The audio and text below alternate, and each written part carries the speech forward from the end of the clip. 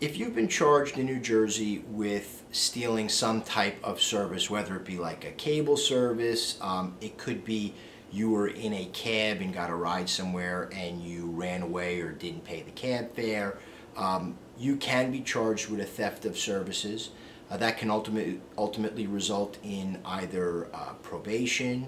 or incarceration. Uh, it's important that if you've been accused of this type of crime, uh, that you contact an attorney who is experienced in dealing with these types of offenses, uh, in dealing with the prosecutor's office, and in dealing with the judges in order to, to have the best result that you possibly can.